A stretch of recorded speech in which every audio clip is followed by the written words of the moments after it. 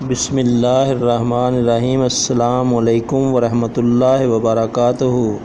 अलजलील channel की तरफ़ से आज मैं अपने नाजरीन को जमादात व नबातात का सल्लल्लाहु अलैहि वसल्लम से अंदाज़ महब्बत के बारे में बताऊँगा। ओहद पहाड़ का आप सल्लल्लाहु अलैहि वसल्लम से मोहब्बत करना खजूर के तने का आप सल्लल्लाहु अलैहि वसल्लम से दूरी के सबब मोहब्बत में रोना, पत्थरों का आप अलैहि वसल्लम को सलाम करना,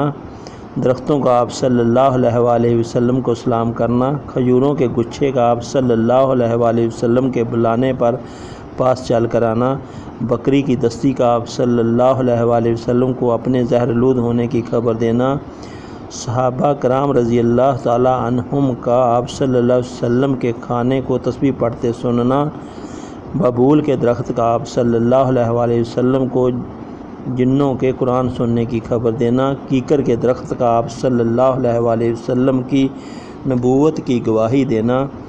ज़मीन का आप सल्लल्लाहु अलैहि वसल्लम के साथ बेवफाई के मरतकब मरतकद की लाश कबूल ना करना। अब आप दोस्तों से गुजारिश है कि अगर आप इस चैनल पर न्यू हैं तो प्लीज़ इस चैनल को सब्सक्राइब कीजिए, शेयर कीजिए, लाइक कीजिए, ताकि जो भी नई वीडियो आए, आपको बर वक्त मिल सके। अल्लाह हाफिज़। अस्सलाम वालेकुम वरहमतुल्लाहि वबरकातुहू।